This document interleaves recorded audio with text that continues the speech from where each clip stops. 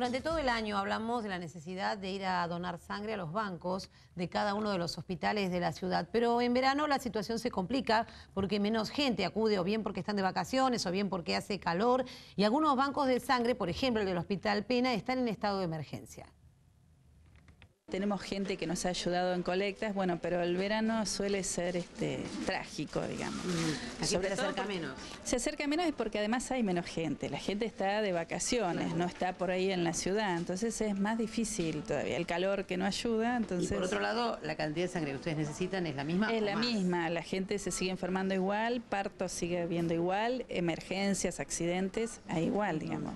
Eso no cambia con las estaciones. Más, es más factible que haya accidentes accidentología durante el verano que este, más en el invierno. Así que sí, estamos en una situación crítica con la cantidad de sangre de stock que necesitamos para responder, sobre todo para una emergencia. Eh, ¿Se puede decir que eh, está en un estado de emergencia? Sí, la verdad que sí, necesitamos, no hay stock de sangre, el grupo más común cero positivo, y realmente necesitamos cualquier grupo de factor, pero este, el, cero positivo, que es el más frecuente, estamos en, falta.